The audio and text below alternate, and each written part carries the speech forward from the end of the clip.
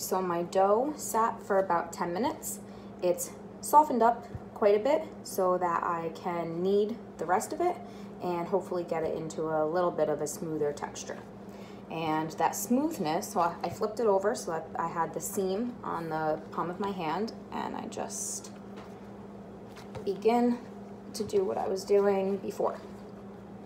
So the smoother that my dough gets, that's what's telling me that my gluten is developing and it is going from a short texture to an improved texture to an intense texture.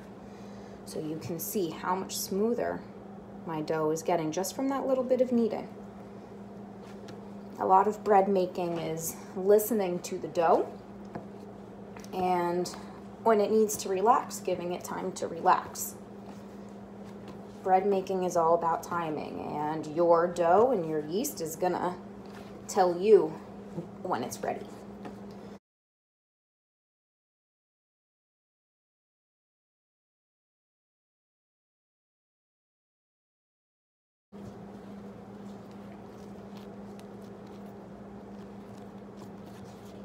So much smoother. Now what I am gonna do is a gluten window test. So I'm gonna tear a small piece off of my big dough and I'm going to very gently work this between the heel of my hand and my fingertips. Very gently wiggle it. Rotate and wiggle. Rotate and wiggle. Ignore this pinky, it doesn't work. rotate, wiggle, rotate, wiggle. You always want to be nice to your dough. I always say you want to treat it like a lady. So here we are stretching our dough and checking to see if the gluten is developed. If the gluten was not all the way developed, meaning your dough did not go through all three stages of gluten development, meaning short, improved, intense, and the three stages of mixing, then this dough would just break. But the elasticity or the gluten development is what is allowing us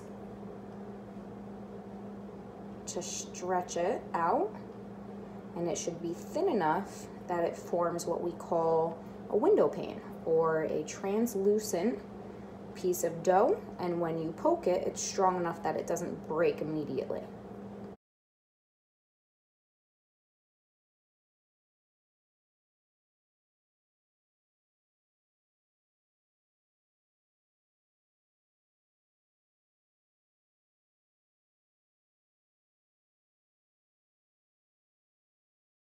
Okay. So I see this translucent window pane right along here. So it's see-through, it's thin, and when I poke it, it doesn't break. Nice and strong. So this, my friends, is the gluten pane test, or the gluten window test. My gluten is strong enough that it is ready for our next step in the 12 steps of bread baking. So we did scaling, we did mixing, and now what's next is bulk fermentation. So I'm going to get my window pane incorporated back into my dough. And I'm going to shape my dough into a little bit kind of like a nicer shape for it to do bulk fermentation. So the way I do that is I pull the dough towards me and I tighten up the seam that's underneath. I'm gonna try on my cutting board here without knocking over the camera. So I cup my dough and I pull, hoping to get that dough stuck underneath my fingers now this piece stays on the bottom, so I'm going to rotate it, keep that piece on the bottom, cup it again, and pull. Cup it again, pull. if your dough is just kind of sliding around and you don't have a lot of resistance, just put a little bit of water on your board so that you have just a little bit of tackiness and resistance. This is gonna give you tension in the dough. Give you a nice round shape so that your yeast can continue to feed during bulk fermentation or first fermentation. Okay, nice and round, nice and strong. And we're gonna let this rest probably about an hour. Um, depending on the ambient temperature of the room, sometimes it'll take 40 minutes, sometimes it will take an hour. Uh, usually you don't want to do first fermentation past an hour. So during first fermentation or bulk fermentation, my dough is going to double in size. So what's happening is you have all your little yeast molecules all throughout your dough. And the yeast is feeding on the sugars that are available to it directly surrounding it. So all the starches from the flour, the granulated sugar, the milk powder, if we had honey or malt syrup in this, your yeast is feeding on those sugars.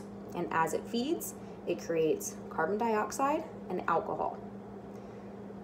That's going to aerate the inside of our dough. So all of that gas is going to expand.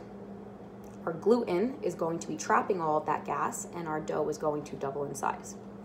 Now what's important about bulk fermentation is that you make sure you cover your dough. So I have my piece of plastic wrap here and I wanna make sure that my dough is totally covered. You don't need to tuck it in or anything, you can just lay it right on top. And that makes sure that my dough doesn't develop what we call elephant skin or um, dryness on top. Once you have that dryness um, and it goes into the oven, like that, it's going to prevent your dough from rising in the oven. It's giving it kind of like a, a, like a skin, kind of like a pudding skin. So to prevent that, we just put a little bit of plastic over it. You can use a dish towel if you'd like. I happen to have plastic wrap, so I use plastic wrap. I'm gonna set my timer for about 40 minutes and I'll show you how I know when bulk fermentation is done. I've given my dough an extra 10 minutes in bulk fermentation and we're ready to go. So I do a little love tap on top and you can see how the dough rises up after I poke it. And I don't leave much of a fingerprint. Okay, so my dough has finished in bulk fermentation and I'm ready for my next step in the 12 steps of bread baking. So I'm going to remove the plastic wrap and immediately you can smell the fermentation. It smells sweet, smells milky, smells like yeast. So as I'm looking at my dough, I can see really, really nice gases in there. So since my dough has doubled in size, with my alcohol and my carbon dioxide gas that's inside. Before I move on, I need to do my next step, which is folding. So what I'm gonna do is I'm going to sprinkle a little bit of flour on the top. Uh, we actually call it throwing flour in the bake shop. And I'm going to degas my dough. So basically I'm going to smack it down so that I get rid of all of the extra gases that I don't need. And then I'm going to fold the dough onto itself like I'm folding a blanket. And what that's doing is redistributing my food to my yeast. So earlier we discussed how there's yeast molecules all throughout the dough. Now, if this is your yeast molecule, one single one within millions of them, your yeast is only able to feed on the food that's directly surrounding it. So your food is coming in the form of flour, granulated sugar, milk, milk powder, honey, malt syrup, molasses, all of those things that are, all those ingredients that are in your dough are what your yeast is feeding on. And that's what's creating your fermentation. Now, your yeast molecule is here and it's only able to feed on everything that's surrounding it. Once that yeast molecule eats all of that food, it still needs to keep feeding because if it doesn't, it dies. Now, there's a lot more food that's available all throughout the rest of the dough. The yeast just can't get to it. So your job as the baker is to redistribute all of that food that is throughout the dough back to the yeast molecules so that it can keep feeding. And as it keeps feeding, it creates more fermentation and in turn, more alcohol, more air pockets, more flavor. So two reasons why we fold after bulk fermentation is to expel all of our excess gases and to redistribute our food to our yeast. Folding also helps to strengthen the gluten in our dough. So I'm going to get my flour.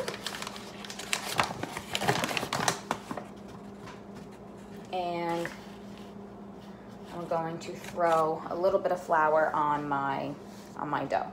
So what we do is we grab a nice handful and we side arm it like this. And what that's gonna do is give us a, an even distribution throughout the dough or right on top. So if you look, you can see a nice even spread of our flour on our dough. The reason I flour my dough is so that my hands don't stick when I degas it. Okay, so a little bit of flour and we're going to get rid of all of that gas. See that little air bubble?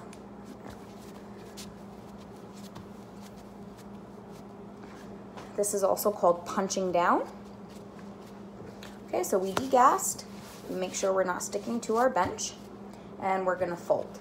So we're gonna bring this dough to the middle. Okay, so the top came to the middle. The bottom is coming to the middle. And then my sides come over. Then I flip and I am ready to divide.